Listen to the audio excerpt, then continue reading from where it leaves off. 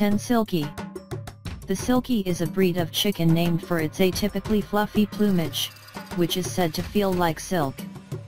The breed has several other unusual qualities, such as black skin, flesh and bones, blue earlobes, and five toes on each foot, whereas most chickens only have four. They are often exhibited in poultry shows, and appear in various colors. 9 Sunda Flying Lemur It's not actually a lemur and does not fly. Instead, it glides as it leaps among trees. It is strictly arboreal, is active at night, and feeds on soft plant parts such as young leaves, shoots, flowers, and fruits. The Sunda flying lemur is a skillful climber, but is helpless when on the ground. It is found throughout Southeast Asia in Indonesia, Thailand, Malaysia, and Singapore. 8 Dhole The dhole, also called the Asiatic wild dog or Indian wild dog, is a species of canid native to South and Southeast Asia. The dhole is a highly social animal, living in large clans which occasionally split up into small packs to hunt. It primarily preys on medium-sized ungulates, which it hunts by tiring them out in long chases, and kills by disemboweling them. Though fearful of humans, dhole packs are bold enough to attack large and dangerous animals such as wild boar, water buffalo, and even tigers. 7 Markhor Markhor is a large species of wild goat that is found in Afghanistan, Pakistan, Kashmir, Tajikistan, and Uzbekistan.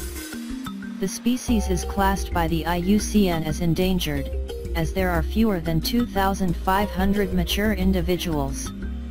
The markhor is the national animal of Pakistan. According to folklore, the markhor has the ability to kill a snake and eat it.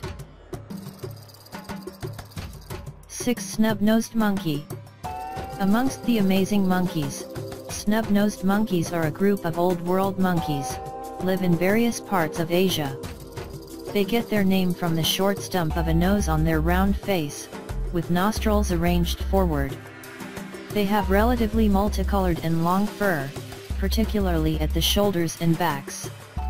They grow to a length of 51 to 83 cm with a tail of 55 to 97 cm. 5 Raccoon Dog The raccoon dog, or tanuki, is a canid indigenous to East Asia. One of the unique dogs, it's the only extant species in the genus Nyctereutes. It is named for its resemblance to the raccoon, Procyon lotor, to which it is not closely related. 4 Maned Wolf Maned wolf is the largest canid of South America. Looks like it's a red fox that mated with a deer to create a furry, lovable face with long, slender legs, but is actually its own type of mammal. This mammal is found in open and semi-open habitats, especially grasslands with scattered bushes and trees throughout South America. The maned wolf is the tallest of the wild canids and its long legs are most likely an adaptation to the tall grasslands of its native habitat. 3 Gerenuk The Gerenuk, also known as the Waller's gazelle, is a long-necked species of antelope, found in habitats with woody vegetation, especially dry, flat thorn bush and thickets. It avoids very dense woodlands and very open habitats. Founded in eastern Africa, Gerenuks have a relatively small head for their body, but their eyes and ears are proportionately large. Only the males have horns and they also have a more muscular neck than females. Both sexes have ruddy brown coats with a paler underbelly. They have short, black-tipped tails. 2 Amazonian Royal Flycatcher The Amazonian Royal Flycatcher is a passerine bird of the tyrant flycatcher family. They are found in forest and woodland throughout most of the Amazon basin.